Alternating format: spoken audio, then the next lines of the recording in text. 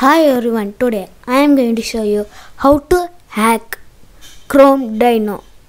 First, make sure you are not connected to the network. Then, open Chrome and click on any website. Now, right click on the page and click on inspect. Now, click on console and co- copy the code given in the description below and paste it here.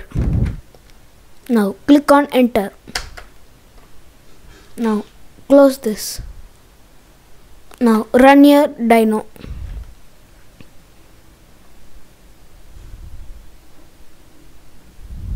As you can see, this method actually works. So thanks for watching. Please like, share and subscribe to my channel. Bye for now.